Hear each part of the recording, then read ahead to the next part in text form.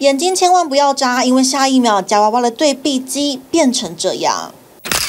面板被拆开，零钱纸钞洒满地，受害台主调监视器要揪出凶手，结果看画面，人嘞是出现时光裂缝吗？我打开监视器，我才发现，哎，中间就是都没有那个讯号，然后我才想到啊，那应该是就是等于说有停电这样，里面的钱大概是八万左右吧，然后可能之后要再加机器的维修，甚至不知道有没有办法维修，可能要直接换一台机器。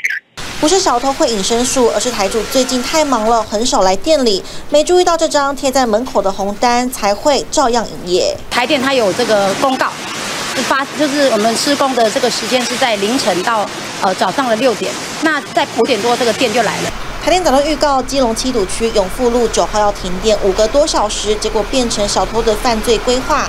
尽管整条骑楼一大堆监视器盯着，他也没在怕。不过他们楼上说有听到 bang bang bang，对，敲开。只是光听到声音，没有监视器画面，真的很难追人。警方只能旁敲侧击。他们发现最近也有一起类似手法的窃案，再从失窃热点调查被锁定的嫌疑人。停电五小时，损失八万，台主想防就还得自掏腰包加装保全系统，要防断电，也要防这些趁乱打劫的小偷。摸黑犯案还是抓得到你。TVB 新闻刘新奎、谢一伦基隆采访报道。请支持专门报道国际新闻的全新 YouTube 频道 TVBS 国际 Plus，扩大视野，掌握趋势。邀请您订阅并且开启通知小铃铛。